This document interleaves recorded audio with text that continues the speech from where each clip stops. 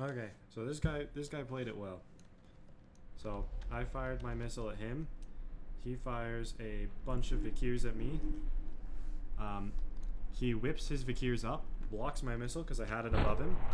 I fire a second one because I'm like, oh crap, he's being smart. I pull it off to the right of him, bait him into throwing his missiles right. As soon as he throws his missiles right, I hook left and I go up and left. He whips his missiles, gets his ankles broken, and he goes bye bye. Uh, those get uncomfortably close, but I managed to drive away in the nick of time. Props to that guy. The first missile was good on his end. Uh, ankles broken on the second one, but you know.